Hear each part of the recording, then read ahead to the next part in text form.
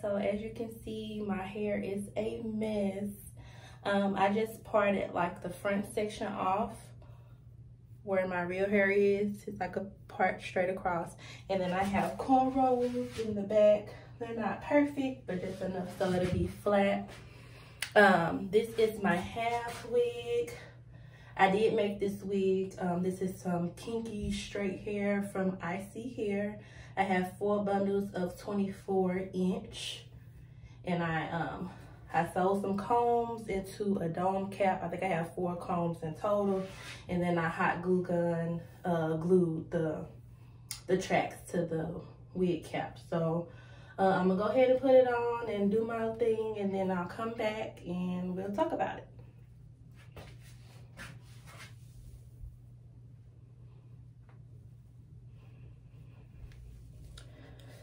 Just putting the wig on and securing the combs and the wig to my hair.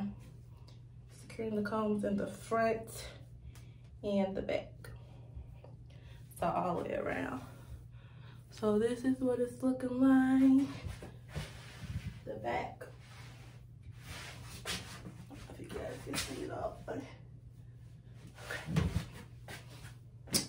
So after I've secured that, I'm gonna go in and flat the front portion of my hair so it can blend.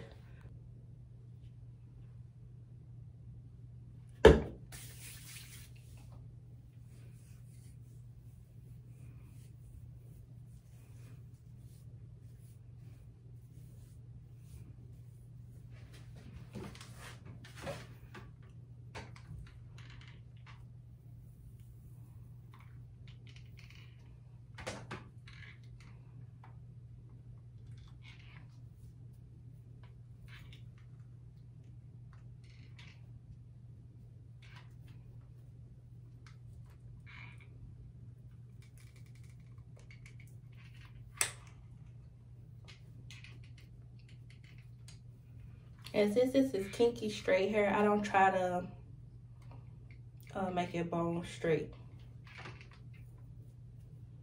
I just do one, one, two at the most um, runs on my real hair.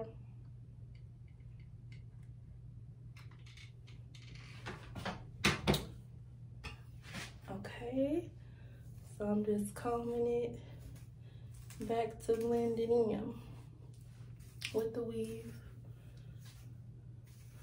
So if you want to wear it down like this, you could, and it can still look um, really natural. Just put some holding spray on it so you don't have any flyaways. But yeah. You up close. Okay, so this next part is the most important part is to how to put the ponytail up. Now, once you put your ponytail up, it's imperative that when you section the hair, you section it so some hair is laying down in the back and you put the hair over it so you won't see any tracks.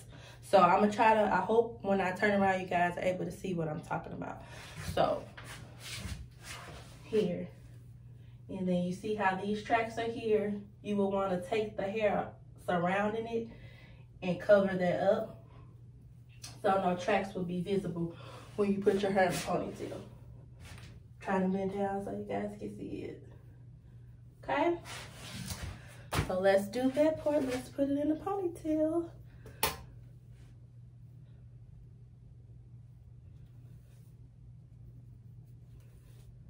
And you just section it to your liking, making sure that it's blending as much as possible.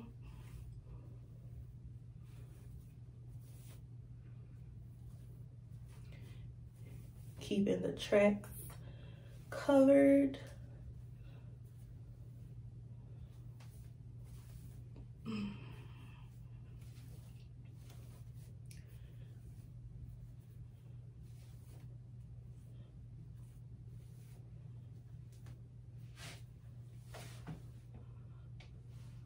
guys can see up close.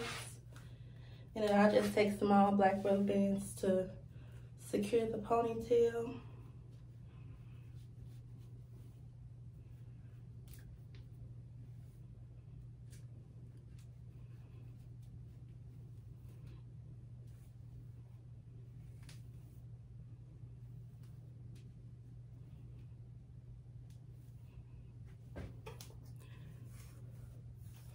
Comb that down.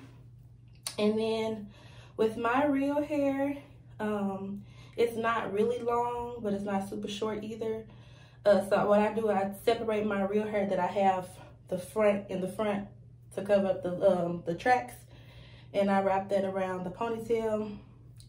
That's why I use uh, a small black rubber band, so um, you don't need a lot of hair to cover it up and make it blend. And then I just take a black bobby pin and pin that part in the back. This way um, it's secure and blended. And then um, it depends on how I feel. Sometimes I'll lay down my baby hair. Sometimes I don't. Like today, I'm not really feeling the baby hair look. So I'm not to do baby hair. And then you can take some holding spray if you just want to secure your flyaways. So I have some Got2b glue free spray. Just gonna spray a little bit. Cause I still want it to look very natural. Okay. So this is the finished product. How to get a half up, half down in less than 10 minutes. So I'm gonna do a full 360 so you guys can see. This is the front. Very cute, very natural. And as you guys can see in the back, no tracks or showing. This is a foolproof in between style. You know, it's fire. And like I said, I got kinky straight just so it can blend with my hair well. And I don't have to worry about it. But yeah, this is the final product. I hope you guys enjoyed this video. Please be sure to like, comment, and subscribe. And tell me if you guys will be trying this style, okay? It's definitely cute. Cute and trendy. All right, guys. See you guys in my next one.